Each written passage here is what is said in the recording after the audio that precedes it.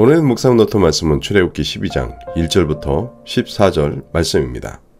여호와께서 애굽 땅에서 모세와 아론에게 일러 말씀하시되 이달을 너희에게 달의 시작 곧 해의 첫 달이 되게 하고 너희는 이스라엘 온 회중에게 말하여 이르라 이달 열흘에 너희 각자가 어린 양을 취할지니 각 가족대로 그 식구를 위하여 어린 양을 취하되 그 어린 양에 대하여 식구가 너무 적으면 그 집의 이웃과 함께 사람 수를 따라서 하나를 취하며 각 사람이 먹을 수 있는 분량에 따라서 너희 어린 양을 계산할 것이며 너희 어린 양은 흠없고 일년된 수컷으로 하되 양이나 염소 중에서 취하고 이달 열한 날까지 간직하였다가 해질 때에 이스라엘 회중이 그 양을 잡고 그 피를 양을 먹을 집 좌우 문설주와 인방에 바르고 그 밤에 그 고기를 불에 구워 무교병과 쓴 나물과 아울러 먹되 날 것으로나 물에 삶아서 먹지 말고 머리와 다리와 내장을 다 불에 구워 먹고 아침까지 남겨두지 말며 아침까지 남은 것은 곧 불사르라. 너희는 그것을 이렇게 먹을지니 허리에 띠를 띠고 발에 신을 신고 손에 지팡이를 잡고 급히 먹으라 이것이 여호와의 유월절이니라 내가 그 밤에 애굽 땅에 두루다니며 사람이나 짐승을 막론하고 애굽 땅에 있는 모든 처음 난 것을 다 치고 애굽의 모든 신을 내가 심판하리라. 나는 여호와라.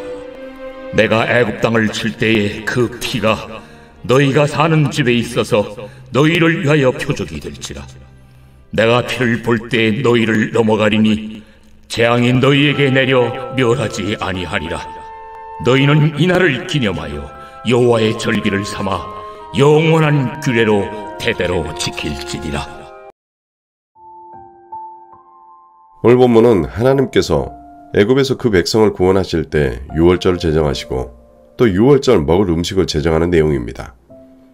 이제 이스라엘 백성들은 마지막 재앙을 앞두고 유월절 어린 양과 식탁을 준비해야 합니다.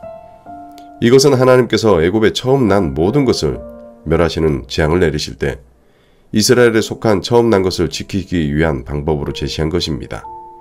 이것이 유월절 규례입니다.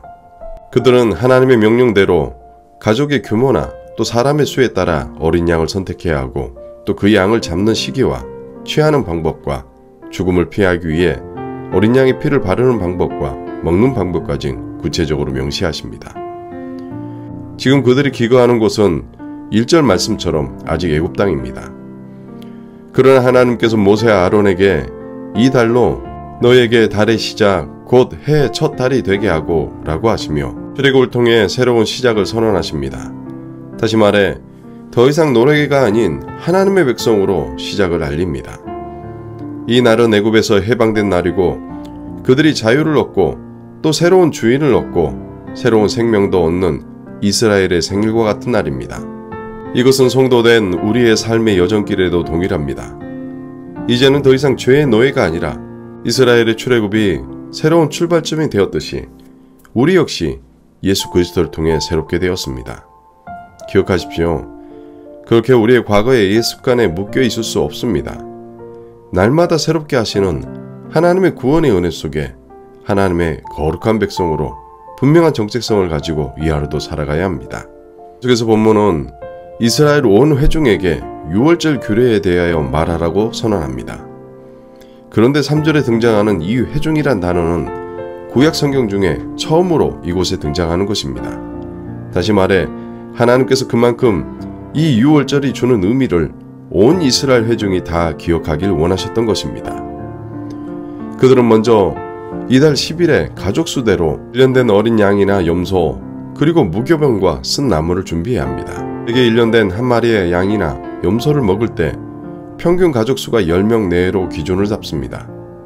그리고 이것을 나흘 동안 간직해야 합니다. 그리고 나흘째 되는 날 해질 때 이스라엘 회중이 직접 잡아야 합니다.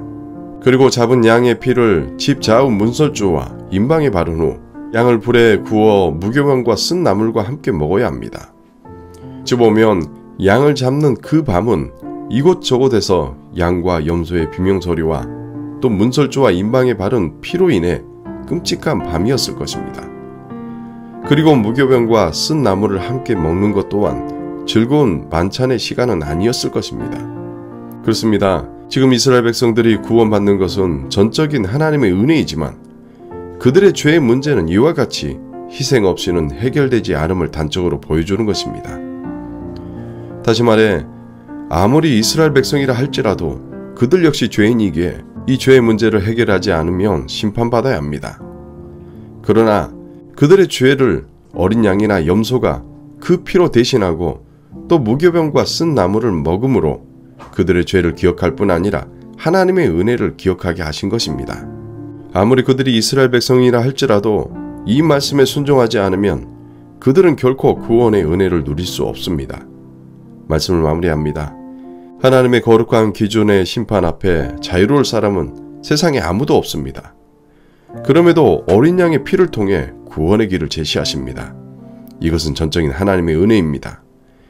하나님의 말씀을 따라 순종하는 그들이 그 피로 인해 구원함을 얻었듯이 동일하게 우리 역시 구원받을 수 있는 유일한 길을 예수 그리스도의 십자가의 보혈로 제시하셨습니다. 그렇게 하나님이 베풀어 진 그 은혜에 이 하루도 감격하십시오. 그리고 하나님이 내게 허락하신 그 은혜를 마음에 새기고 이 하루도 하나님의 거룩한 백성답게 믿음으로 살아가길 주의 이름으로 축원합니다. 함께 기도하시겠습니다. 은혜로신 아버지 하나님, 하나님이 정하신 그날 밤 이스라엘 백성들은 말씀에 순종하여 양과 염소를 잡을 때 이것저것에서 들려오는 비명소리와 또 문설주와 인방에 발라진 피와 그 피의 냄새로 인해 괴로운 밤이었을 것입니다. 그러나 이어 이어지는 하나님의 심판 속에 애굽 전역에서 들려오는 그들의 애통 소리에 죽음을 넘어가게 한 어린 양과 염소의 피로 인해 말할 수 없는 은혜와 감격이 가득한 밤이었을 것입니다. 올 하루 우리 역시 하나님이 베풀어 주신 그 보혈의 은혜를 다시 한번 마음에 새기게 하여 주시옵소서. 이 하루도 그 은혜에 감격하며 믿음으로 살아가게 하여 주시옵소서. 감사드리며 예수님의 이름으로 기도합니다. 아멘.